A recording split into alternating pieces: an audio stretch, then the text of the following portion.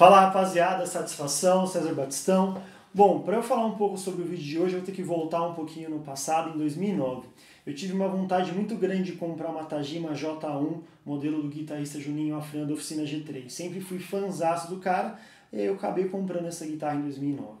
Essa guitarra sempre me chamou a atenção porque o corpo dela é o corpo de Stratocaster, com captador Seymour Duncan, ponte Gotô, tarraxa Gotô, a cor vermelha craquelada com branco. Sempre gostei muito. Só que a gente vai ficando mais velho, vai passando por algumas coisas e a gente vai mudando um pouco os nossos gostos. E aí essa cor que eu tanto gostava já não fazia mais parte de mim. Porém, a configuração da guitarra ainda é muito boa. E eu não queria me desfazer dela, mas pensei, vou ter que vender. E aí um aluno meu falou assim, bom, por que, que se você gosta tanto da guitarra, por que, que você não pinta ela em vez de vender? E eu achei a ideia muito boa. Foi o que eu fiz, então, nesse vídeo vocês vão ver alguns, alguns shows que eu fiz, alguns vídeos que eu gravei, enfim, com ela, para ver toda a trajetória dela comigo. E aí depois eu vou mostrar para vocês como que ela ficou de verdade mesmo. Então vamos lá, roda a vinheta, é nóis!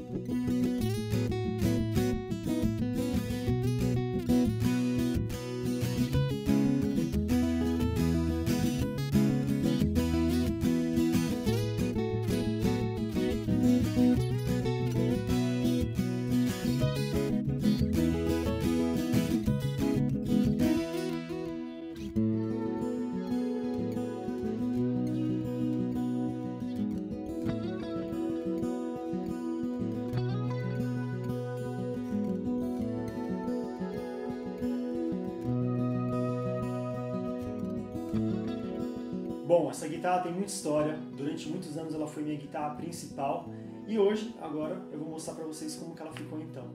Eu pedi pro Jean pintar ela de preto fosco e a guitarra ficou exatamente assim, ó.